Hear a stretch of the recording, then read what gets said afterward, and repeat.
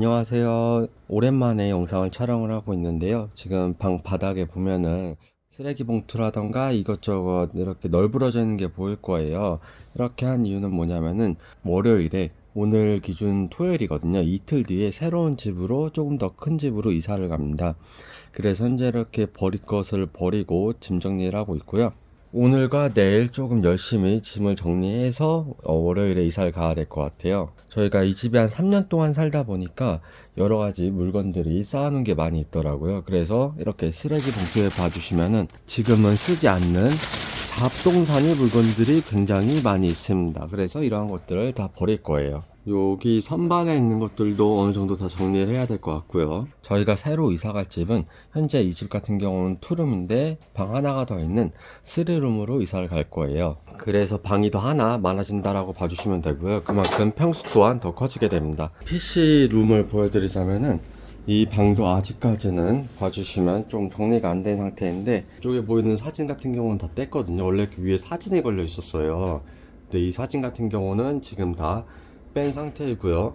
물론 이러한 것들도 다 정리를 해야겠죠. 다 전자 장비 같은 경우는 조금 조심히 포장을 해서 어, 이 운반 중에 뭔가 부서지거나 깨지지 않게 해야 될 것 같습니다. 포장 이삿짐 센터가 올 예정이어서 저희가 별도로 박스 포장을 할 필요는 없는데요. 일부 중요한 물건들은 이렇게 저희가 다이소에서 산 박스를 이용을 해서 담아갈 예정입니다. 정리하던 중에 누들의 탈피 껍데기를 발견하였습니다. She is now. 네, 누들 같은 경우 콘스네이크 뱀이거든요. 몇 번 유튜브에서 영상을 올린 적이 있는데 지금은 거의 한 1.5m 정도 될까요? 길이가 굉장히 커졌습니다.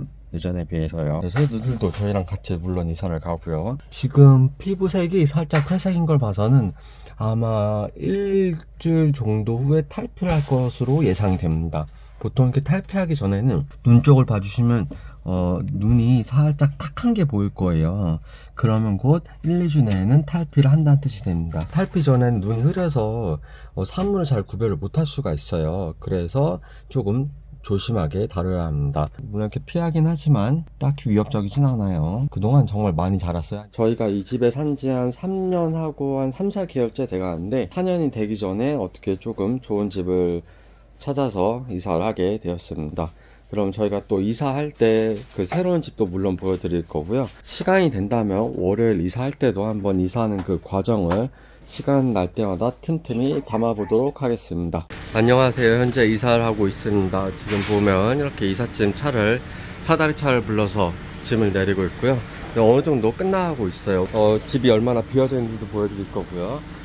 보면 저렇게 위에서 사다리 차가 내려오고 있습니다. 짐은 1.5톤으로 여기 이 정도 찼고요. 네, 이삿짐 센터는 아정당에서 불렀습니다. 아정당 많이 들어보셨죠? 정수기, 뭐 이사, 청소 이런 회사예요. 지금 집에 올라가고 있고요. 이제 올라가서 한번 보여드릴 거예요. 더 이상 이 4층까지 계단은 오르지 않아도 됩니다.